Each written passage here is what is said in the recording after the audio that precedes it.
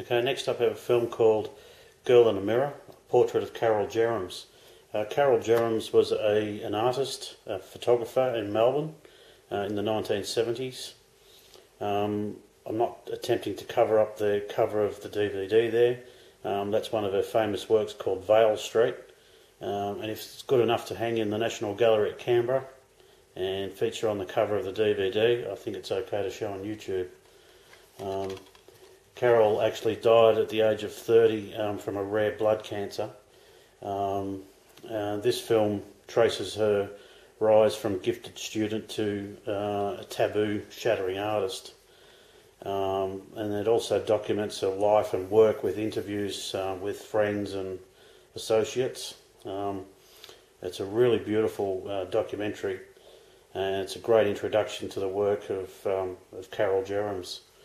Um, this has been on the ABC. I saw first saw this on the ABC, and um, I've tracked the DVD down, DVD down after that, and I picked this up for a fairly good price. But um, this is well worth having a look at. Um, an amazing lady, really captured a, a, a, generation and a culture in her work.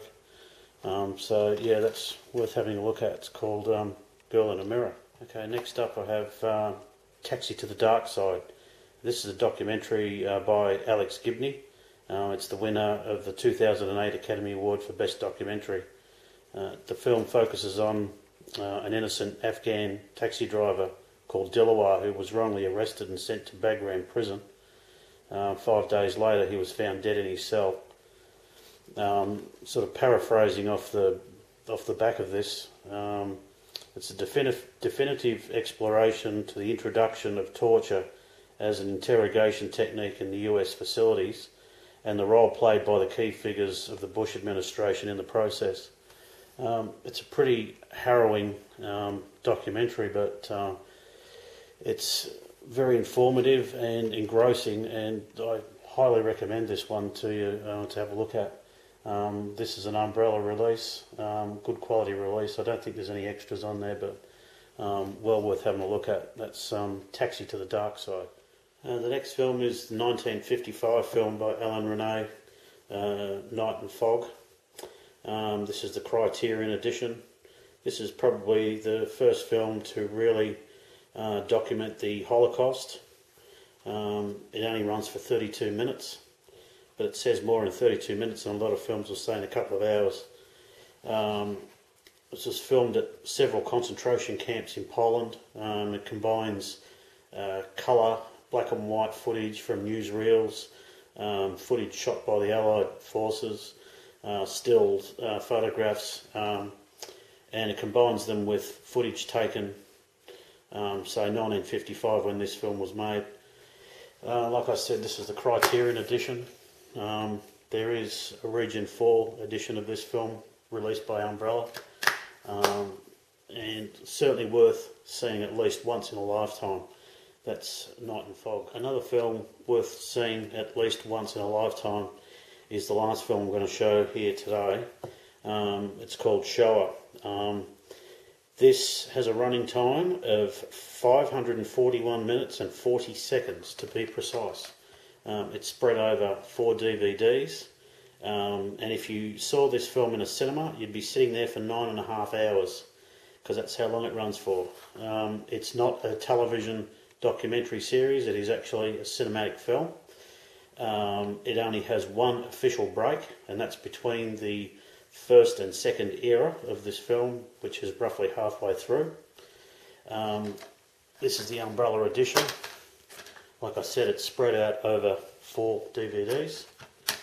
Um, and what happens is between the first and second DVD, the film just stops and it's just asks you to insert the next disc. So the film just literally continues on.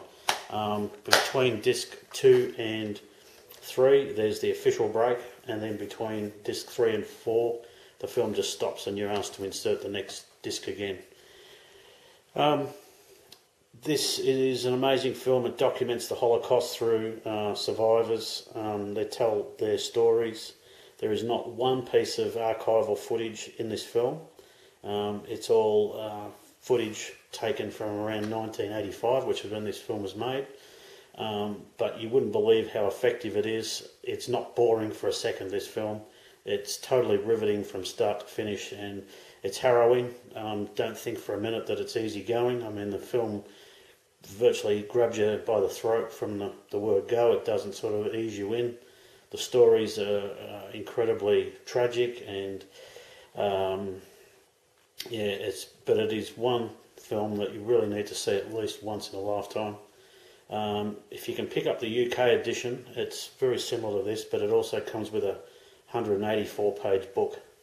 So, um, yeah, an amazing film, this one. Um, check it out. It's called uh, Shoah and it goes for 541 minutes. So that's it for the documentary update, guys. Um, I hope I've inspired you to maybe have a look at a few of these films. Um, thanks to all my subscribers. Thanks everyone for watching. And I'll be back soon with hopefully a Blu ray update. Thanks, guys. See you. Bye.